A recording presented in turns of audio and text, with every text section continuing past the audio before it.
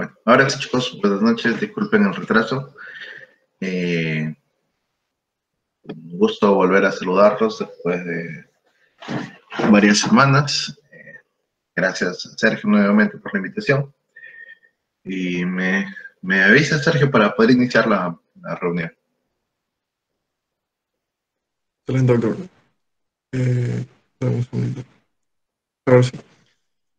Este, buenas noches, ahora sí, ya iniciamos. Este, les agradezco a todos por su participación. Me presento, mi nombre es Sergio Núñez, soy el actual presidente de la Sociedad Científica Estudiante de Medicina de la Universidad Internacional de las Américas. Estamos en presencia del doctor Pablo Puescas. Él es auditor médico, cuenta con una maestría en ciencias, convención en investigación clínica. Es miembro del comité editor de la revista del Cuerpo Médico del HNAAA. Es miembro del comité de asesores de la SOCIEM UNPRG y es miembro del comité de asesores de la SOCIEM UCB. Él estaba abordando el tema de reacción de carta al lector, entonces, este doctor, después de un tiempo nos volvemos a encontrar. Te agradezco por esta colaboración y espero que les sirva a todos. Bueno, gracias a, ti, Sergio, nuevamente. Gracias, chicos, eh, por, la por la participación. Eh, disculpe nada más por la hora, el cambio de último momento, por temas de trabajo, pero encantado de compartir nuevamente con ustedes. Eh, bueno, a pedido de, Sergio vamos a hablar un poco de cartas al editor. Eh, en realidad, las cartas al editor y algunos otros tipos de publicación científica para muchos son muy venidos a menos en el sentido de que bueno, es mejor publicar un artículo original, eh, mientras más artículos originales tengas, mejor. Eh, en parte sí es, algo muy cierto, pero también eh, no se deja de lado que una carta al editor puede ser una herramienta muy práctica para alguien que se está iniciando en el mundo de la publicación científica. Obviamente, no, no siempre tu primer trabajo de investigación va a terminar publicado como un artículo original. Muchas veces ni siquiera califica para que la revista lo pueda publicar como un original breve, pero sí tal vez por la puntualidad o por la especificidad de sus resultados, puede hacer de cierto modo una contribución al mundo de la ciencia a través de una carta al editor o también llamadas cartas al director, ¿no? Depende mucho de la revista a la que ustedes estén apuntando a enviar su carta.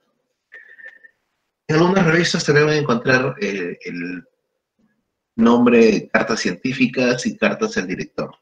Por lo general las cartas científicas hacen mayor alusión a temas netamente de investigación o netamente de aporte a un tema específico.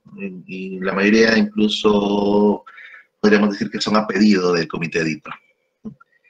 Claro que eso no implica tampoco de que podamos enviar una carta científica a una revista y tenga la opción de ser publicada porque si el aporte es sustancial, eh, el comité editor puede considerar publicar la, eh, la, carta, a pesar de que no ha sido solicitada como tal.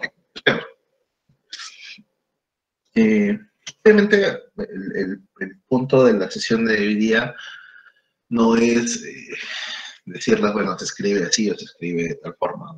Vamos a ver ejemplos más prácticos de los diferentes tipos de carta al editor que conocen.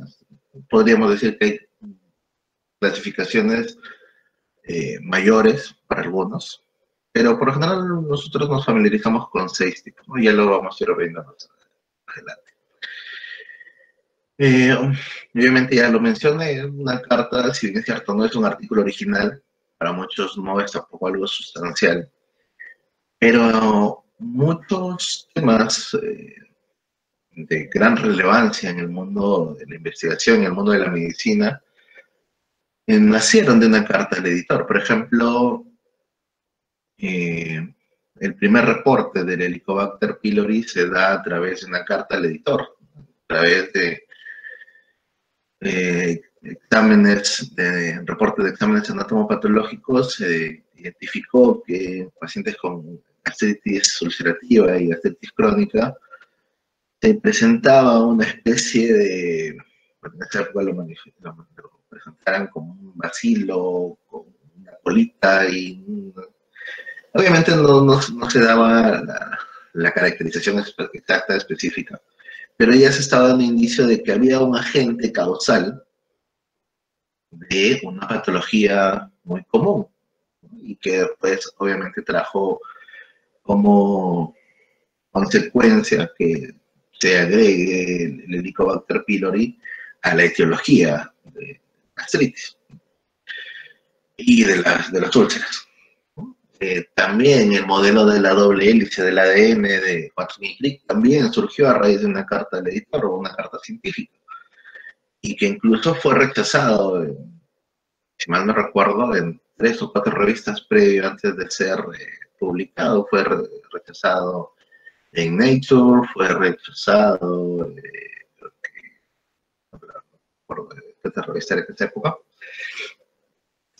pero no se le dio la, debida importancia en ese momento porque dijeron, ah, bueno, es una carta, no debe tener información muy relevante, como las cartas editor por general la revista solamente el comité editor de la revista, eh, incluso a veces el mismo director nada más, y decide si se publica o no. Entonces, muchos de esos temas que para algunos pudieron haber quedado relegados en su momento, mm, no eran un artículo original, pero partieron de la carta y se volvieron parte sustancial de muchos aspectos de la medicina. Los artículos científicos un slide tomado de una presentación del doctor Cabezas, un taller de editores de revistas, en el cual hace una clasificación de los artículos científicos de acuerdo a su revisión. Normalmente tenemos, nosotros hemos escuchado en algún momento hablar de la revisión por pares. Y bueno, la revisión por pares implica, como su nombre lo dice, una revisión por por lo menos dos expertos en, en una determinada materia y personas que también además de conocer de la materia, conozcan de metodología de investigación, para someter a su juicio crítico un aporte científico a una revista. Y por lo general los aportes que son evaluados a través de una revisión por pares, obviamente estos revisores pares son muy ajenos al comité editor de la revista. El comité editor se encarga, por decirlo así, en primer lugar de verificar que se cumpla con eh, las normas para la publicación que envía la misma revista, pero además se encarga de seleccionar los potenciales eh, revisores pares y de hacerles la invitación. Hay algunas revistas eh,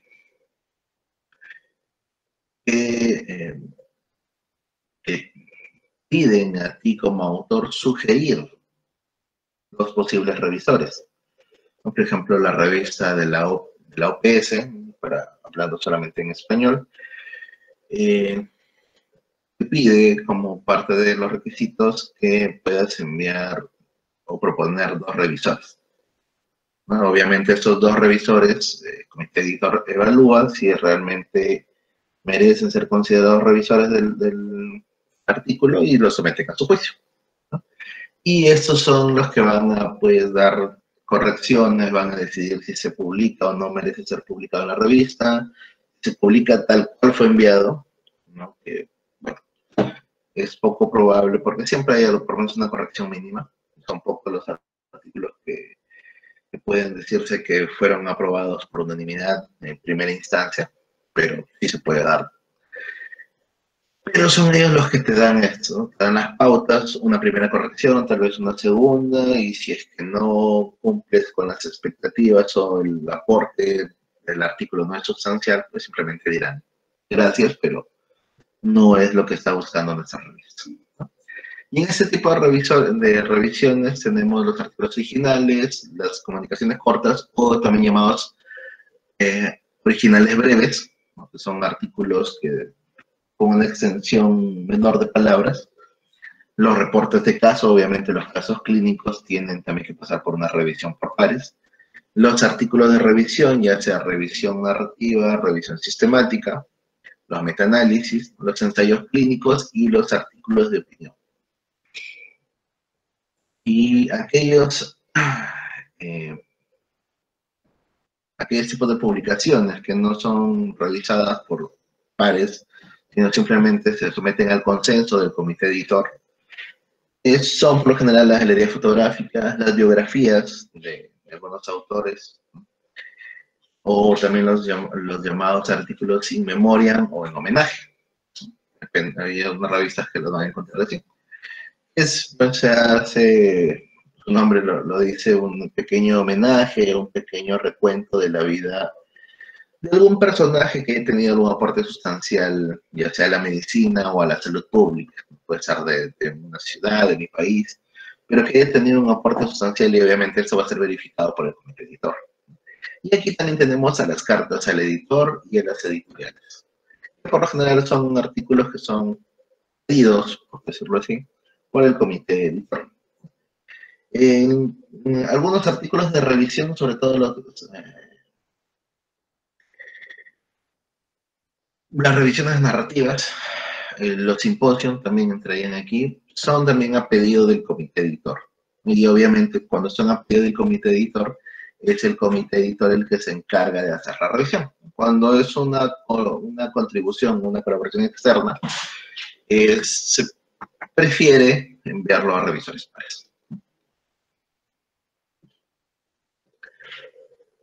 Hay que tener también en cuenta esto. ¿no? Por qué eh, sucede o por qué se da el recalzo de los artículos eh, a una revista para publicación. En primer lugar, pues el estudio no abordó una cuestión científica importante. Eh, aquí, bueno, hay una parte que son tres preguntas preliminares en el sentido de cuál es el objetivo, ¿no? ¿A quién o a quién buscas enfocarte con tu artículo científico? Cuál es el valor externo, cuál es la contribución hacia otras personas, si se puede o no se puede generalizar, y cuál es el nivel o el vacío del conocimiento al que se busca darle una solución o dar el abordaje a través de tu artículo.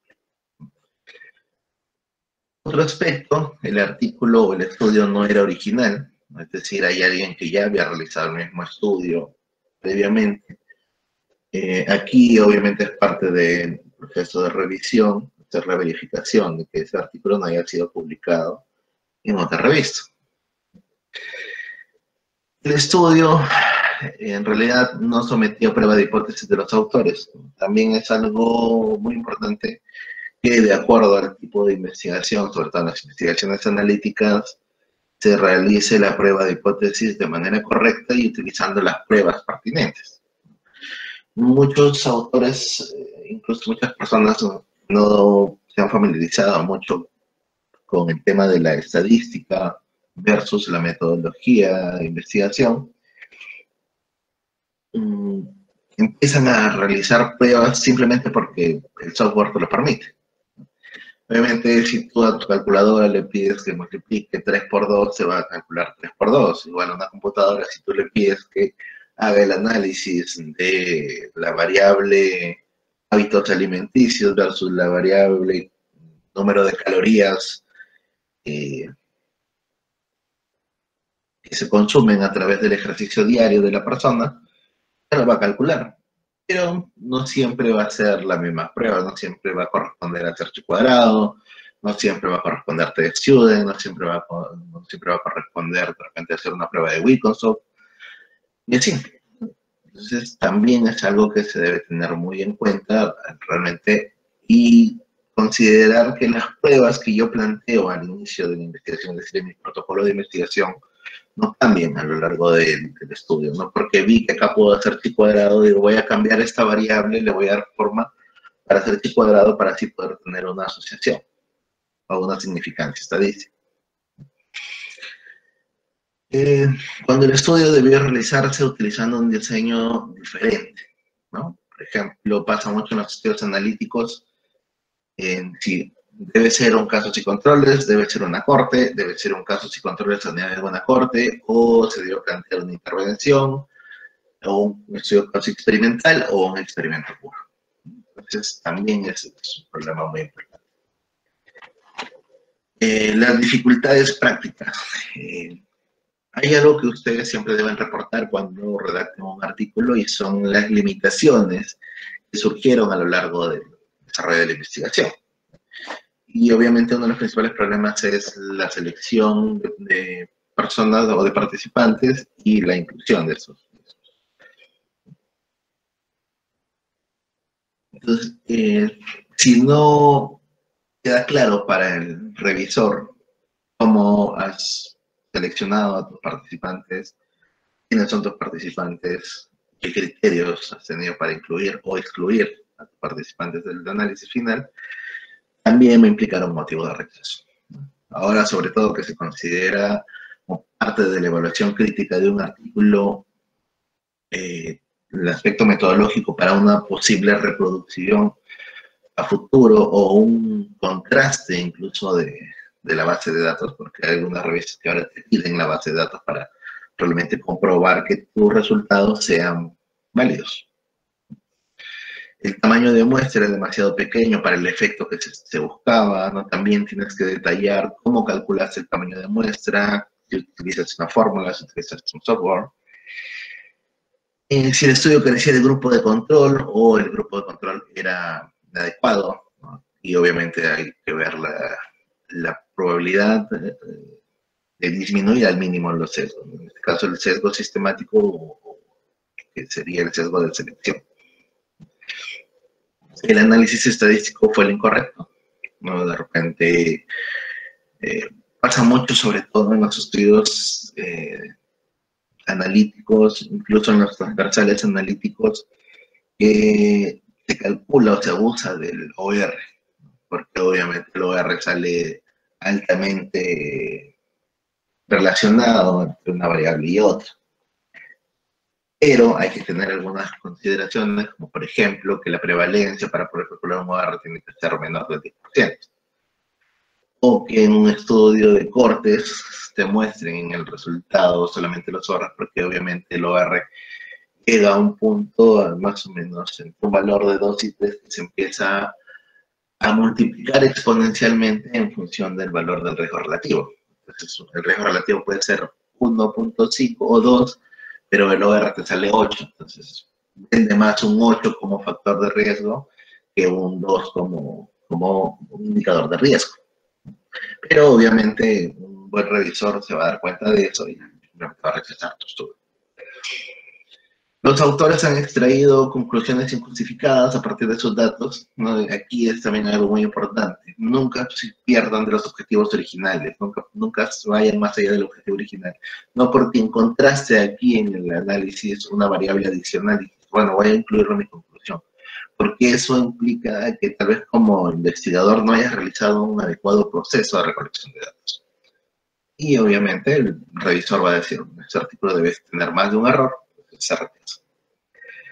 Existe conflictos de interés significativo. Aquí es muy importante también declarar si te, el, tu estudio está siendo financiado, quién lo financia, si no hay financiamiento, si trabajas de repente para una entidad, tú estás haciendo un estudio en un hospital, obviamente tienes que declarar que eres parte del hospital o eres una persona externa a ese hospital.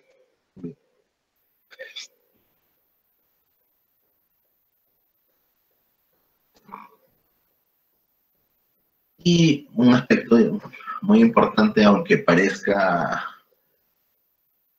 obvio para muchos, que es que el artículo esté mal escrito o que sea incomprensible.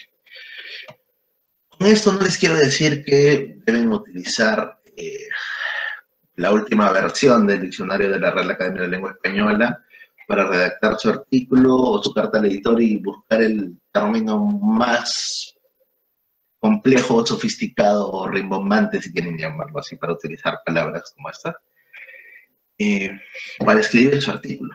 Porque si bien es cierto, se va a leer parte de la comunidad científica, pero de un modo u otro también tu artículo va a llegar en algún momento a ser eh, recuperado a través de Internet por cualquier persona que tenga acceso a un computador.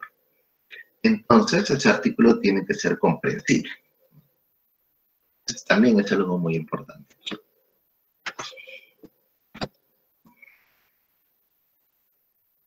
Esto es algo bastante, leer una frase, antes de entrar ya las cartas. El médico no es de quien hace el descubrimiento, el médico es de quien escribe ese este descubrimiento y convence al mundo a través del reporte del descubrimiento.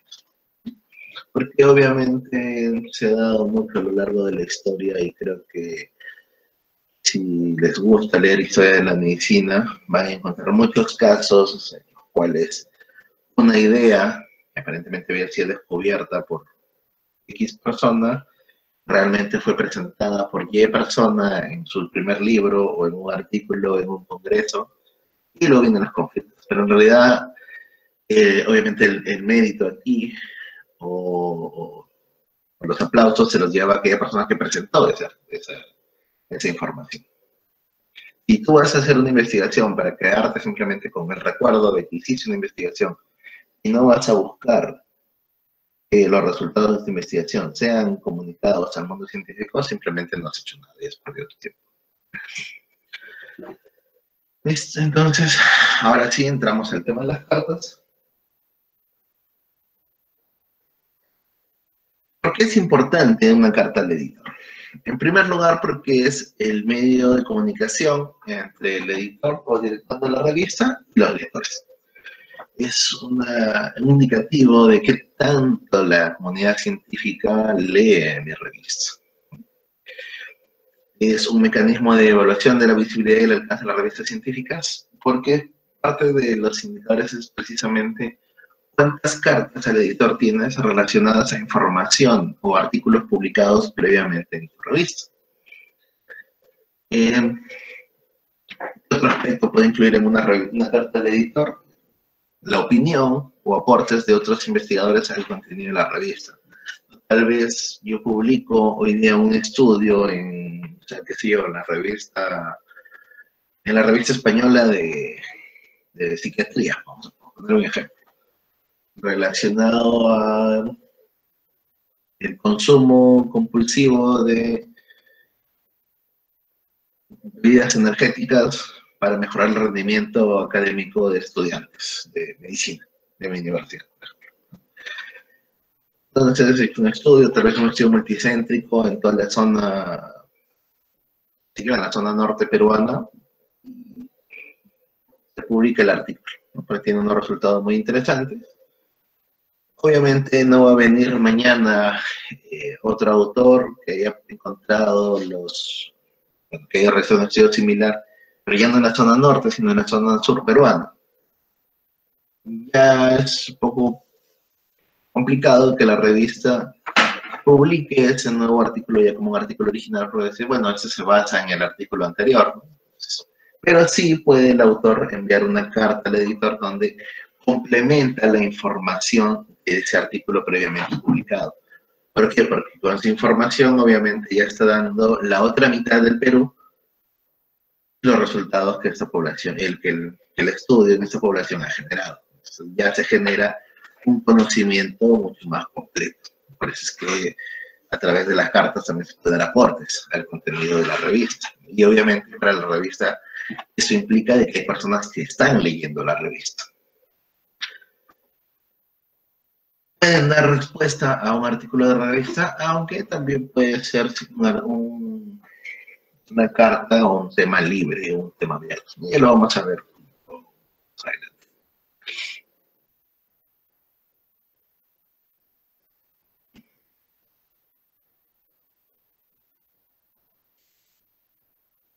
Algunas características de las cartas al editor es que eh, muchas de las revistas por decirlo así, que están dentro de los primeros dos partiles en los rankings, eh, van a aceptar la publicación de cartas al editor, obviamente en el idioma de la revista, que es el idioma inglés, pero siempre y cuando cumplas con algunas condiciones. Eh, obviamente aquí una de las principales condiciones es que cites el artículo de la revista al cual estás haciendo alusión y que permitas la réplica del autor, es decir, que el autor te responda.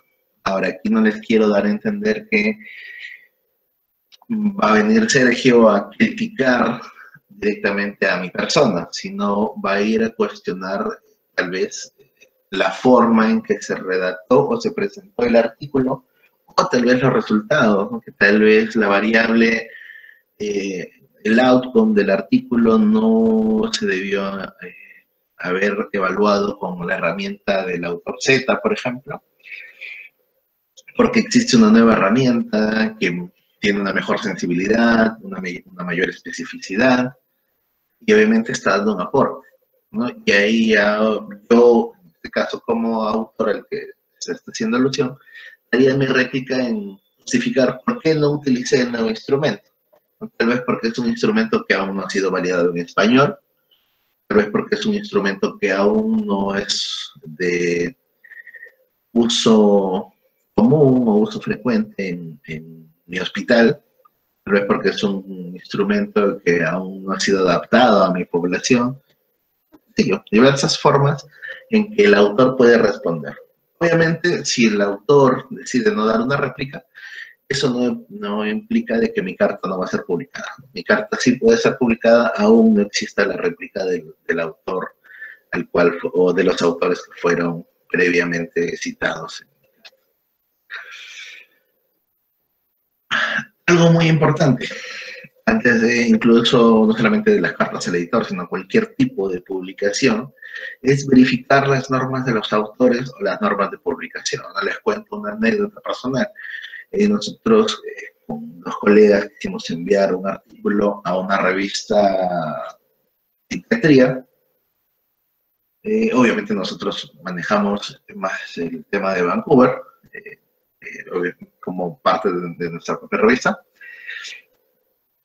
pero no nos dimos cuenta que eh, cometimos un error bastante de novatos, que fue darnos cuenta que la revista pedía que los artículos originales deban ser redactados en formato APA. Y simplemente nos rechazaron por no cumplir.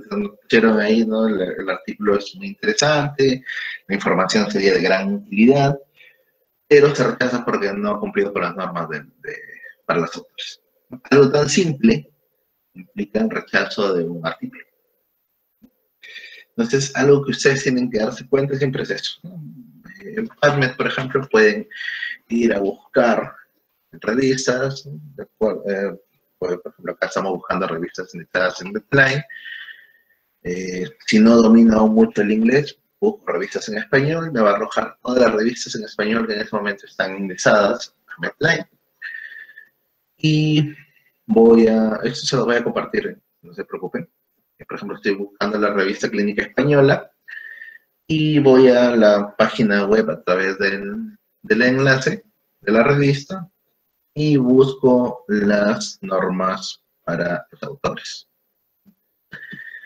Entonces, aquí la revista me va a dar algunas pautas. Por ejemplo, que se va a hacer o se van a aceptar las cartas que hagan alusión o algún comentario o alguna objeción o algún cuestionamiento artículos recientemente publicados en la revista.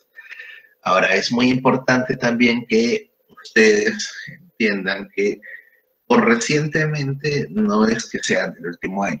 Normalmente una revista de alto flujo editorial, es decir, una revista que publica por lo menos un número al mes, eh, te pide como margen máximo de tolerancia si vas a enviar una carta a un artículo de la revista sea de los últimos dos o tres números máximo. Es decir, los últimos dos o tres meses. En el caso de revistas que tienen ya una publicación mucho más, eh, más periódica, por ejemplo, eh, trimestral o, trimestral, aquí sí la revista te va a indicar solamente que va a recibir eh, cartas eh, al, último número, pero incluso te puede dar una condición más, que por ejemplo sean recibidas dentro de las tres primeras semanas, dentro de las cuatro primeras semanas de publicada o de publicado este número de la revista. Entonces, es muy importante verificar las normas para, para los autores, porque yo puedo encontrar tal vez un artículo del segundo número del 2020, ¿no? muy, muy interesante y que tal vez pueda servir de cuestionamiento, o yo encontré alguna información que pueda ir ahí para una carta al editor donde yo complemente los resultados, pero la revista te va a decir, sí, está muy interesante tu carta, pero ya ese artículo fue publicado hace más de seis meses. Entonces, mm, tampoco es que te, te, queda o los quiera desanimar, pero sí puedo cambiar el enfoque de mi carta. Ya no hacer alusión directamente a un solo artículo, pero tal vez podría ser un comparativo de artículos similares recientemente publicados del mismo tema y hacer un comparativo, obviamente incluyendo el artículo publicado previamente en esta revista, para de esta forma tener una carta donde no solamente hago alusión a información que ha sido publicado en esta revista, sino también que comparto información publicada en otras revistas. Es una, es una estrategia muy práctica y que en realidad puede ser de mucha utilidad. ¿Qué otro aspecto tengo que revisar? La cantidad de palabras. Ah, por ejemplo, en la revista me pide 500 palabras y no más de 10 referencias. También eso es algo muy importante. Si puedo o no puedo incluir tablas o figuras, también hay que tener en cuenta esos tipos de situaciones. Ahora, hay cartas en las cuales se escribe un artículo original, pero que tiene una información tan puntual o tan precisa que no califica para ser un artículo original. Entonces, en este tipo de, de situaciones, esas cartas que hacen alusión a un artículo nuevo, es un artículo original, o un estudio original, mejor dicho, para no confundirlos, que hacen alusión a un estudio original, tienen otras características. De repente ya la revista no me da chance de 500 palabras, sino me da 1000 palabras, ya no 10 referencias, sino 15 referencias, porque obviamente debe incluir una pequeña discusión. Entonces, ese tipo de cosas tienes que tener en cuenta, ¿no? Hay también cartas que son breves, son comentarios explícitos sobre un tema, inclusive de, actualidad, que solamente te va a permitir 300 palabras, son otras 500. Hay revistas donde sí o sí una carta, independientemente del tipo y del tema, solamente debe tener 500 palabras. Otras que como máximo te piden 1000. Eh, también tienes que verificar si en el conteo de palabras entran o no entran para el conteo de las referencias. Aparentemente dirán, profe, pero ¿por qué no dices todo? Porque en realidad cada revista tiene sus, eh, sus propias normas de juego. Entonces, si yo no me ciño a las normas de juego de la revista, voy a tener el problema de que al final la revista me va a rechazar, como les comenté en, caso que nos había sucedido a nosotros. La idea de una carta es que tiene que ser un formato breve, eso siempre debo recordar, y las ideas que debo transmitir son puntuales. Y ya se los comenté, no es un buen espacio para iniciarse como, como autor. Eh, tiene una estructura recomendada, sí. Básicamente, lo primero que hago que tener en cuenta es un título. El título sí debe ser breve y conciso. Y obviamente debe darme claramente, en el momento de leer, la idea de qué tema estoy abordando con mi carta de A diferencia de un artículo original eh, que pueden incluso van a encontrar artículos con 20 palabras, antiguamente eran 25. Una carta al editor máximo como recomendación son 15 palabras título de una carta.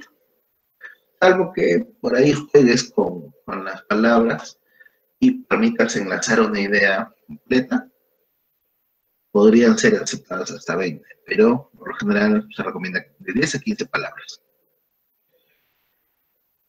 Y eh, los títulos pueden ser aquí sí representados de diferentes formas, ¿no? Pueden ser como una exclamación, como una interrogante, por ejemplo, un juego de palabras. Por ejemplo, que me ocurre ahorita como un título interrogativo.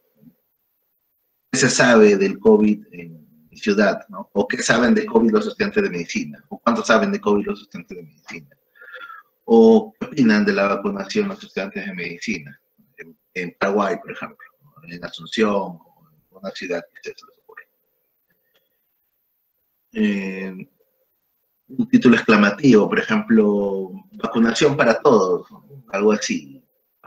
obviamente yo hago alusión a la necesidad de que toda la población pueda ser vacunada. Eh, aquí puedo hacer algún, alguna búsqueda de situaciones previas en las cuales la inmunidad haya resultado exitosa para disminuir la incidencia de casos y obviamente las complicaciones. Entonces, son formas, son estrategias que yo tengo para poder hacer mi carta más llamativa a la lectura. vamos a ponernos así eh, en, términos simples. Es como si yo estuviese leyendo una noticia en redes sociales, una noticia en un diario sensacionalista o en un noticiero sensacionalista que si ustedes se dan cuenta son a lo mucho 10 palabras y que te llaman la atención, dices, ah, mira, esta noticia es interesante, la voy a revisar, la voy a leer, aunque diga otra cosa, aunque el contexto de la noticia sea otro al que está en el título medio escrito, pero ya te llamó la atención, ya jaló tu curiosidad, ya jaló tu atención hacia ese artículo específico o hacia esa noticia en especial, la vas a leer. la idea de la carta al editor es también que el título capte la atención del lector.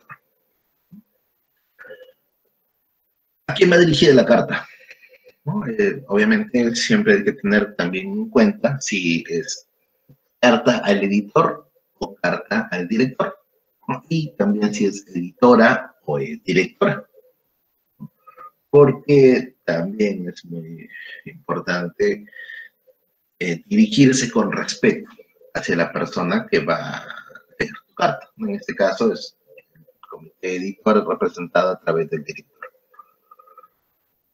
Eh, opcionalmente también puede ir el nombre del director o del editor de la revista.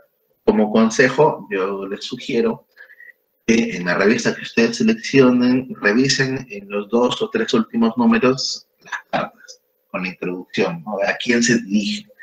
Si se dirigen a un señor director o a una señora directora, o se dirigen a estimado, vamos a suponer, vamos a suponer Sergio Núñez, director de la revista tal.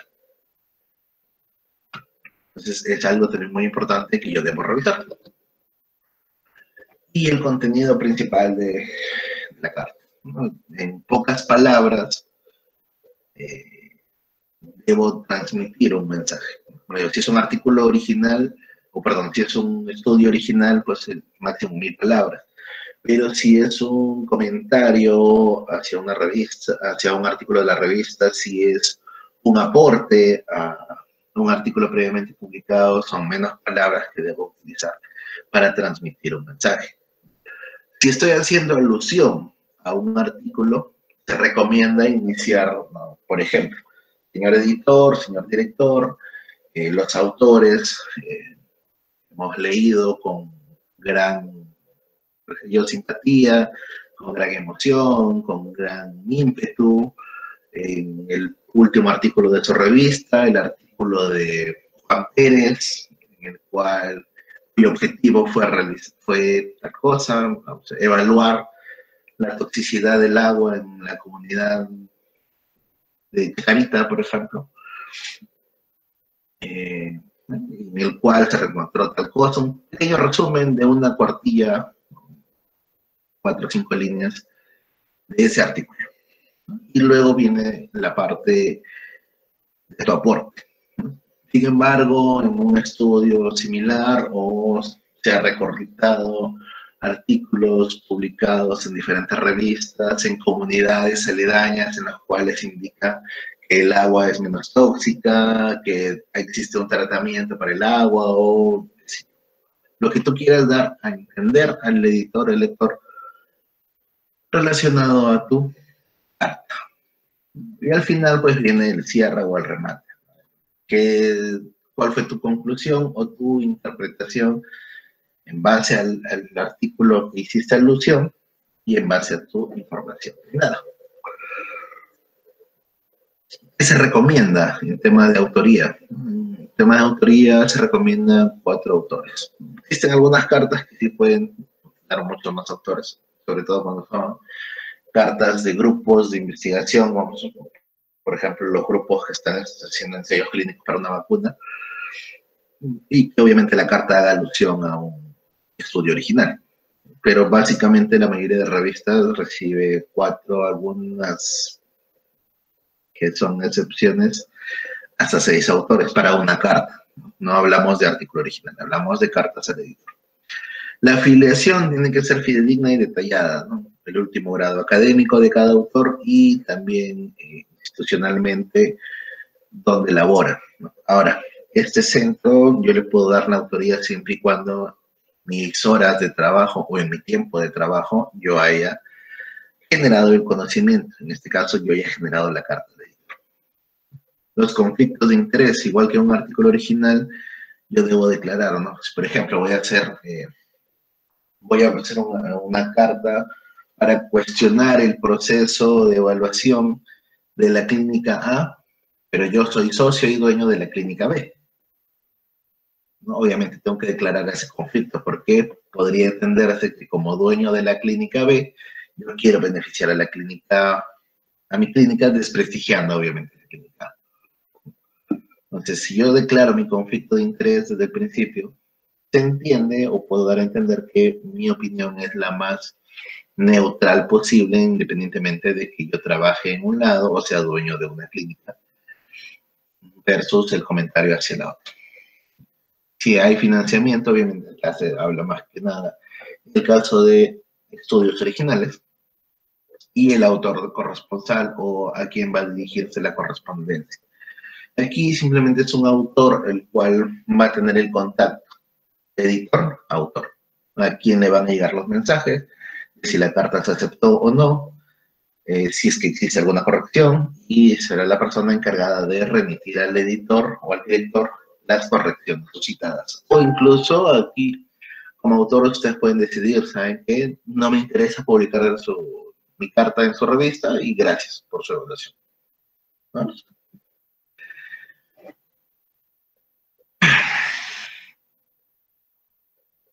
Ahora, existen, o podríamos decir que existen diferentes tipos de cartas Como les mencioné hace un momento, nosotros manejamos seis tipos de carta dependiendo del tema abordado. Por ejemplo, en primer lugar tenemos las cartas para discutir o criticar un trabajo previamente publicado, que es lo que les comentaba, una, carta que hace alusión a un artículo recientemente publicado en esta revista. En segundo lugar, las cartas que amplían un trabajo previamente publicado. Un ejemplo que les mencionaba también en ese momento, un estudio que yo he realizado en la zona norte de mi país, fue publicado con éxito. Eh, eh, existe un trabajo que se venía realizando y que lamentablemente terminó posterior al mío en la zona sur. Ya no calificaría tal vez para ser presentado como un trabajo original, pero sí para una carta que amplíe lo que ya publiqué previamente. Obviamente son otros autores, y están ampliando su información y ellos eh, tendrán su propia autoría. Comunicar los resultados de estudios semejantes a otro publicado en la revista. También eh, tengo lo que les mencionaba, un resumen de estudios o un resumen de publicaciones relacionadas a un tema en cuestión. Y obviamente me va a permitir hacer una comparación de diferentes realidades me va a dar un mayor aporte. Opinar sobre la política editorial de la revista. También aquí hay cuestionamientos a la revista. No, obviamente no les digo que vayan y ataquen a la revista y digan, sí, la revista no debe tener a fulano como editor en jefe porque fulano es por aquí, es por allá, no, sino cuestionamientos como, por ejemplo, el proceso editorial de la revista en el sentido de la omisión de la revisión por pares para artículos originales, por ejemplo, o que se contradigan en las normas dicen, por ejemplo, cuatro autores como máximo y en los últimos números empiezan a publicar cartas con seis u ocho autores simplemente porque dentro de los autores hay una persona, de repente de un alto rango, de un hospital porque es una persona que es parte de un comité integrador, evaluador de, un ministerio, cosas por el estilo. Es decir, cosas que van en contra del mismo proceso editorial de la revista, por poner un ejemplo. O incluso el cuestionamiento a cómo la revista realiza su selección.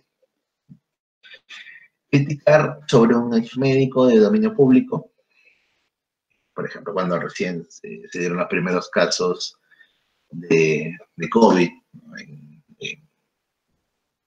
en China, Wuhan, obviamente, tal vez con una carta se pudo haber presentado los primeros casos, eh, pero ya era una enfermedad que se iba conociendo entre ellos, un, tema de dominio público en ese momento.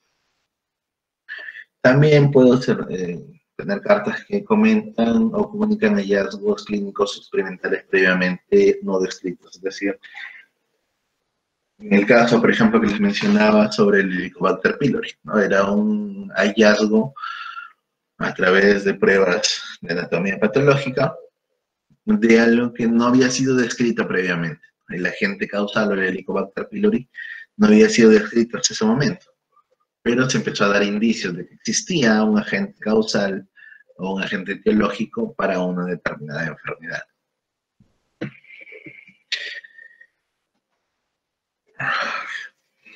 Y vamos a ver un ejemplo de cada uno para que ustedes tengan una idea de a qué me refiero y ustedes también pueden ver la estructura de una carta en relación a lo que les mencioné en ese momento.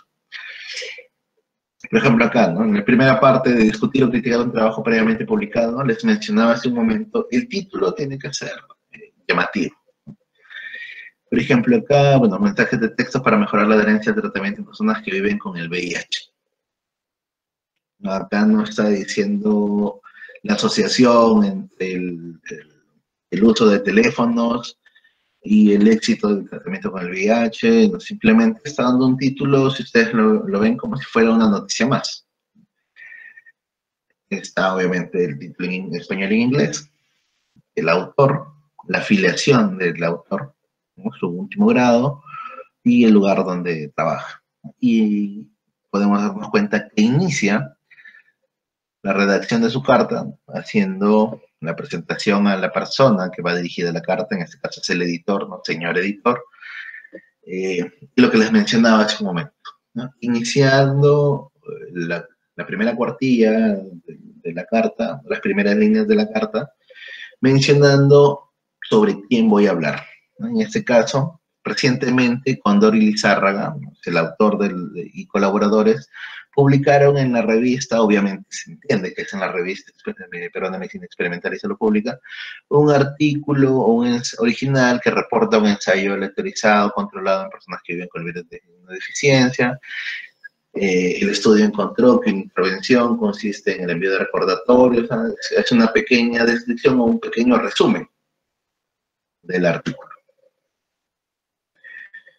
Pero también él está dando su aporte está discutiendo lo que han dado, lo que han transmitido los autores, ¿no? Dice, sin embargo, es importante precisar que los autores omiten en el artículo citar y discutir estudios internacionales y nacionales de relevancia sobre el tema.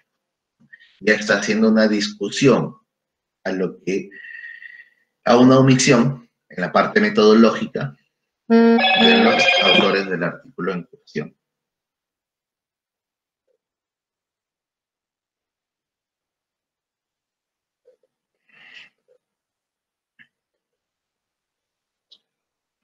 Entonces ellos empiezan a dar un resumen y era lo que les mencionaba hace un momento, a través de una pequeña tabla, realizar o hacer un pequeño resumen de estos estudios, porque obviamente no me voy a poner a describir. El artículo 1 dice tal, tal, tal, cosa, fue la metodología de esta forma, pero sí puedo hacer un pequeño resumen y describir de cierta forma lo que al autor del, del artículo 1, que en este caso es este de aquí al que yo hice alusión, omitió transmitir en su artículo. Entonces, eso es lo que les digo, un pequeño cuadro donde se resume el estudio, en este caso ya está describiendo la población o el N, que es el numerito, el año de publicación del artículo, eh, qué tipo de intervención se realizó, cuál fue la variable medida o cómo se midió la variable resultado, el tiempo de seguimiento. Obviamente esta información va acorde a lo que evaluaron en ese artículo. En el artículo original menciona que se realizó una intervención a través de mensajes de texto, ¿no? Por seis meses y se logró incrementar de manera oportuna la cita. Y ellos están dando esta, esta misma medición, pero en semanas. Si se dan cuenta, obviamente no son seis meses. La mayoría tiene en promedio más de seis meses de evaluación. Salvo estos dos pequeños artículos, 16 semanas, que son más o menos cuatro meses, y el de 30 semanas, pues que sí es un más largo, ¿no? Son siete meses aproximadamente. Seis semanas, seis meses y medio. Entonces, esta es una forma de discutir un artículo previamente publicado, porque ya vimos que hace ese, ese nexo o esa conexión entre el resumen del artículo en cuestión y la información que yo quiero transmitir. Se presenta la información de manera resumida y me evito hacer comentarios de seis artículos, si se dan cuenta. Porque obviamente está respetando la cantidad de palabras límite. Si se dan cuenta, ese es todo el artículo.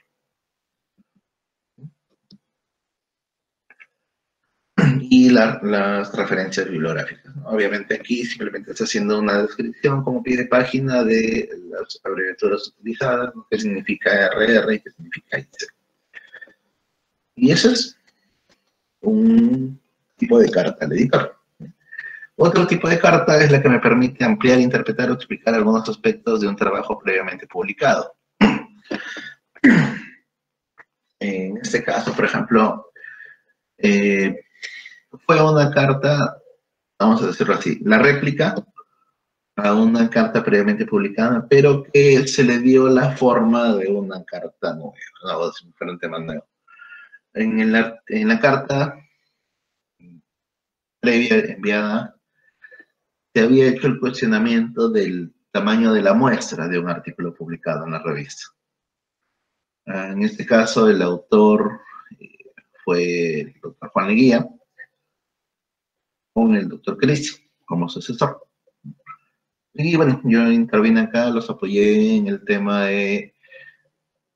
Cambiamos la estructura de, la réplica para darle esto, este, este resultado en verde, en el cual se explica un aspecto metodológico, tomando en cuenta eh, el artículo, no según una proporción esperada de tanto, sin embargo, se calculó una muestra, ¿no? Se consideró la tasa de, rechazo, se, procedió a hacer un nuevo cálculo de la proporción. Entonces se da una explicación a algo que tal vez se omitió mencionar en el artículo original. Y simplemente esto trajo como resultado una carta al editor. Que obviamente, les dije en, esa parte, eh, el autor principal del artículo cuestionado era el doctor Ría, pero los demás eh, intervenimos para poder darle esta estructura precisamente, la ampliación o la explicación en lo que no se había reportado en el artículo original. Todos estos ejemplos se los voy a pasar para que los lean, no se preocupen. Eh, el otro tipo de carta, comunicar brevemente los resultados de un estudio semejante a otro publicado en la revista. Mm, esa es una carta, también eh, esa carta surgió en alusión a un artículo publicado en la revista. Sin embargo, eh, se hizo la descripción de los resultados del estudio publicado, qué variables habían evaluado, cuáles fueron los resultados principales. Sin embargo, nosotros hicimos un pequeño estudio en el cual se evalúan, si ustedes se dan cuenta, el título del artículo original era Determinación de los factores de riesgo cardiovascular en trabajadores saturnos en plataformas marítimas de una plataforma del norte del Perú. Ese es el artículo original.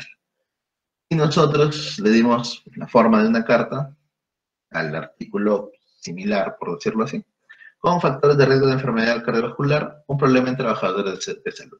Lo que les mencionaba también hace un momento, la característica del título de la carta, que no es muy extenso, no es muy amplio, es puntual y busca llamar la atención del lector. Y si ustedes se dan cuenta, eh, tiene, a ver, 3, 6, 9, 11 palabras. Era lo que les mencionaba, ¿no? De 10 a 15 palabras se puede dar a entender el mensaje de la carta de Y obviamente el mensaje era que se había realizado un estudio, comparación de factores de riesgo cardiovascular en trabajadores de un hospital en esos tres años, en ese periodo de tiempo, y se reportó. Es decir, a través de una, una tablita simple también se describen los resultados del estudio que nosotros habíamos realizado para comparar las variables del estudio original. Y se publicó así, como una carta al editor. Obviamente, como les dije hace un momento, eh, la información no era tan extensa, el trabajo no era tan amplio, pero sí completaba la información publicada en otro tipo de artículo en la misma revista. Otro tipo de, carta para opinar sobre algunos aspectos de la política editorial de la revista. Por ejemplo, en esta carta, el doctor Carles y el doctor Percy Maita hacían un cuestionamiento, donde se dieron cuenta de que en muchas de las revistas eh, indicadas a Cielo Perú, existían errores en la afiliación de los autores. Normalmente van a encontrar ustedes autores que tienen tres, cuatro o cinco afiliaciones, eh, los correos, también correos personales, correos institucionales, los grados académicos. Eh, incluso nosotros nos pasó también en la revista que encontrábamos a una estudiante que le habían puesto estudiante de medicina, guion médico anestesiólogo. Bueno, entonces, obviamente era un error porque no puede ser, médico anestesiólogo y decir, bueno, voy a volver a de medicina. Entonces, hay varios errores que pueden suscitarse. Ahora, como equipo editor de una revista, tienes que revisar también que la, afiliación sea la correcta. Si existe un error, obviamente, ¿a quién le corresponde esa responsabilidad del cuestionamiento de la carta? ¿Le corresponde solamente al autor o también le corresponde al editor de la revista? Y es precisamente el tema o lo que quieren transmitir aquí a través de este mensaje. ¿no? Los errores en la afiliación responsabilidad de autores y editores. Ustedes ven, son títulos muy puntuales, 11 palabras también aquí. No, 11, a ver, 11, 9, 3, 6, 9. Y ya se dio el, el, título, se dio el tema y se entiende de qué se trata esta, esta carta empieza a hacer una descripción, un señor editor para codificar la producción, hace una pequeña intro aquí en este caso, en relación a la afiliación en una publicación, independientemente de que sea una carta o sea un artículo original, de la afiliación en una publicación. Y ellos han hecho su búsqueda, están describiendo, también aprovecharon para presentar un artículo original, pero con una carta donde se cuestiona el proceso editorial de la revista. Y acá está, al final la conclusión que ellos hacen, si bien es cierto, la responsabilidad de los autores consignar en forma correcta sus datos, también es compartida con las instituciones en las que representan y las revistas donde publican, que deben establecer políticas editoriales en sus normas para que los autores de forma correcta puedan escribir su filiación. Y obviamente, así como revisas que el artículo tenga tantas palabras, que el artículo tenga tantas referencias, que el formato sea Vancouver, o que el formato sea APA, o que tenga tantas tablas, que tenga tantas figuras, también tienes que darte cuenta, como editor de la revista, como parte del comité editor de la revista, se cumplan con las normas que tú has dispuesto para otros aspectos, como por ejemplo la afiliación, la correspondencia, o simplemente la cantidad de autores, sino de escritos. Y otro tipo de carta de las que les he mencionado, ¿no? para emitir un juicio crítico sobre un hecho médico de dominio público. Por ejemplo, aquí la discriminación por razones de género en el deporte. Si ustedes se dan cuenta, son siete palabras en este título.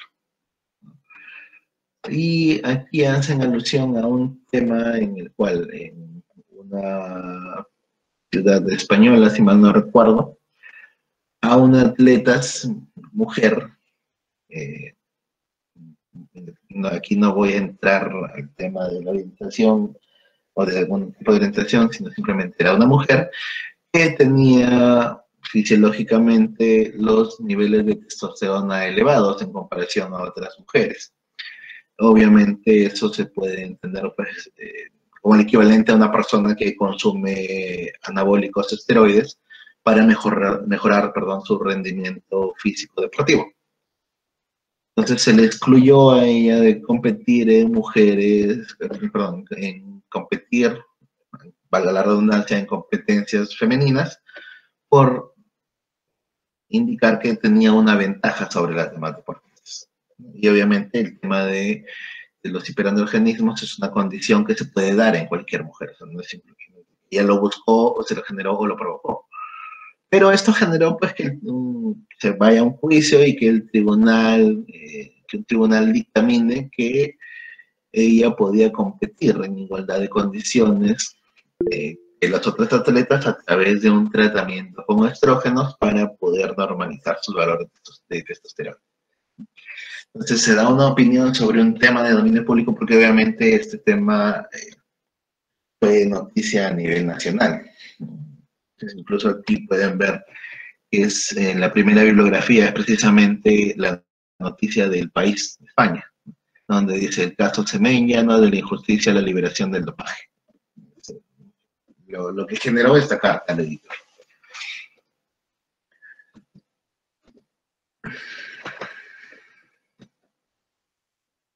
Ya está ahí toda la información completa. Estos son ejemplos para que ustedes se dan cuenta la carta tiene esto, la carta tiene una intro donde se habla del tema que estoy abordando, tiene un cuerpo donde ya exactamente o específicamente el autor describe lo que quiere dar a entender o lo que quiere narrar, y todos cierran con una simple conclusión. Por ejemplo, acá ¿no? la solución que se propone de las máximas instituciones según las regulaciones pasa por un proceso de normativización médica, obligando a los deportistas a adherirse a un tratamiento si dejan y desean seguir compitiendo, lo que estigma, eh, lo que estigmatiza perdón, y atenta contra la dignidad de los atletas y lleva a una discriminación, lo que se supone en definitiva la ruptura de los principios de imparcialidad del deporte. Ya es, el autor está dando, o los autores aquí están dando su conclusión o su interpretación a la, lo que, a la intro o lo que motivó la carta con el cuerpo o lo que han descrito ellos como contenido o estructura de la carta misma. Si igual, ¿no? Aquí, por ejemplo, en la revista, la Gaceta Sanitaria de España, pide que se incluya como parte de la estructura de una carta de contribución de autoría.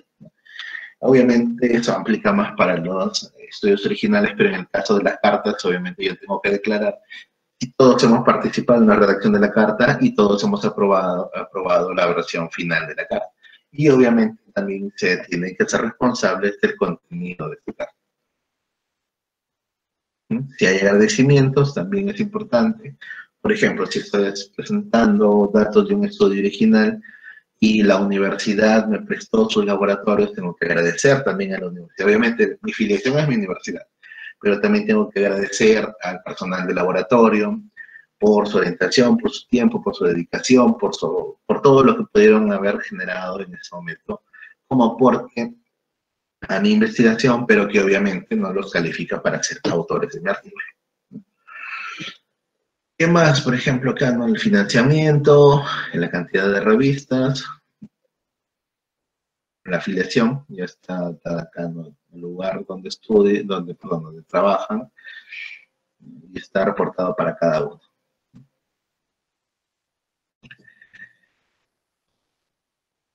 Y bueno, el último que me pasó, de comunicar un hallazgo clínico experimental previamente no descrito. Aquí lo que les mencionaba. ¿No? Un bacilo curvo no identificado en el epitelio gástrico de personas con gastritis crónica activa. Citado por 2000, bueno, en esta época eran 2271, no de estar más. Pero fue una carta publicada en Lancet en el año 1983. A raíz de esto, a raíz de esta pequeña carta al editor, surgió un, un tema o surgió una rama de la gastroenterología eh, que genera obviamente mucho interés, no solamente por es la etiología de una enfermedad, sino que también tiene consecuencias a corto, mediano y largo plazo. ¿no? Puede ser que el paciente termine con un cáncer gástrico, simplemente por este básico. Obviamente en ese momento no se sabía que se debía a esto, pero conforme va la medicina cambiando, las herramientas diagnósticas van mejorando, también se pueden hacer mayores aportes o mejores evaluaciones de los pacientes.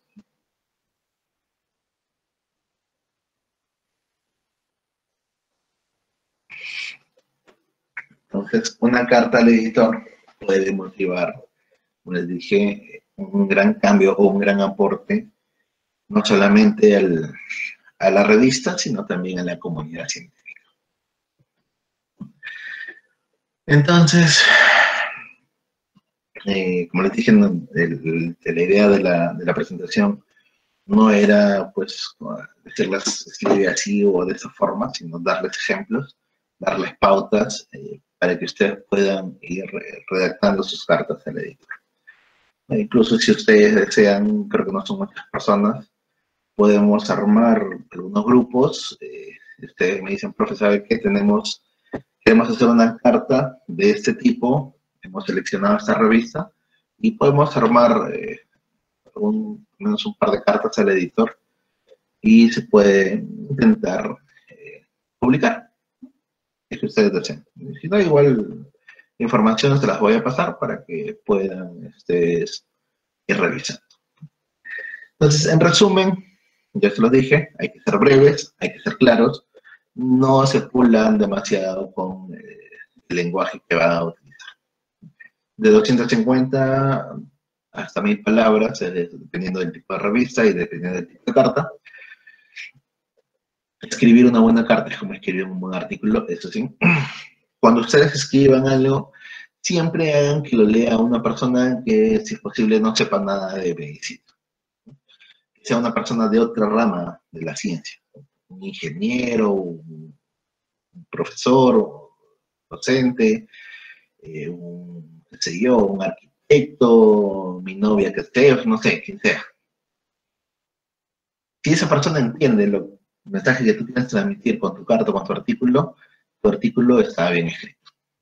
Porque obviamente estás siendo claro y estás siendo preciso con el mensaje. Una carta tiene un inicio, una parte central o media y tiene un final o un cierre, como se lo mencioné hace un momento.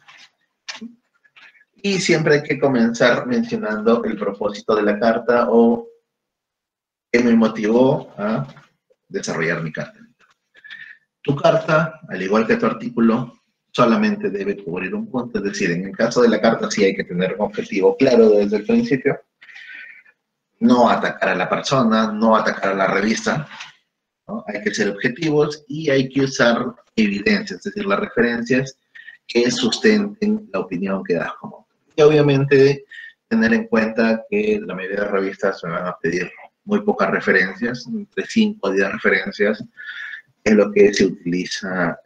Y algo que se me ha revisen siempre las normas para los autores y, si es posible, revisen dos o tres últimos números y vean cómo eh, el tipo de cartas que publica esa revista. Hay revistas que le dan prioridad a las cartas que hacen alusión a artículos previamente publicados. Puedes presentar tus cartas de un estudio original, pero a veces le dan, lo aceptan, pero le dan una cola de espera muy larga para que se le asigne un número. Entonces, también hay que tener en cuenta ese tipo de situaciones como una herramienta. Por ejemplo, acá les estoy dejando un modelo carta, este es el que utilizamos nosotros en la revista. Eh, el, título de la carta en español y en inglés, los nombres y apellidos de los autores, la afiliación académica institucional,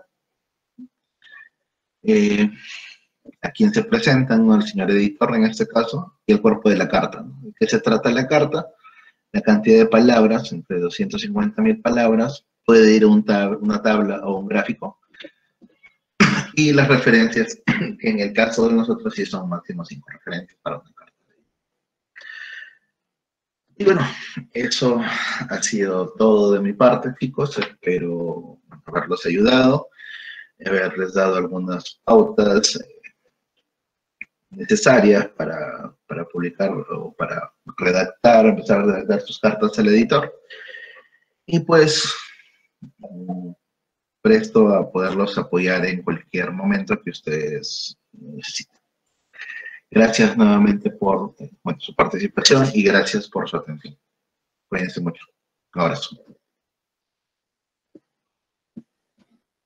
Buenísimo, doctor. Muchísimas gracias por este aporte a la actividad. En serio, te agradezco como siempre la colaboración. Creo que estuvo bastante completo el, el, taller de hoy y, nada, no sé si alguien tiene alguna pregunta. Yo de mi parte creo que quedó bastante claro. Explicaste todos los modelos que, se podían mencionar y, y, ojalá más adelante te pueda comentar el, el resultado de, de, la actividad de hoy.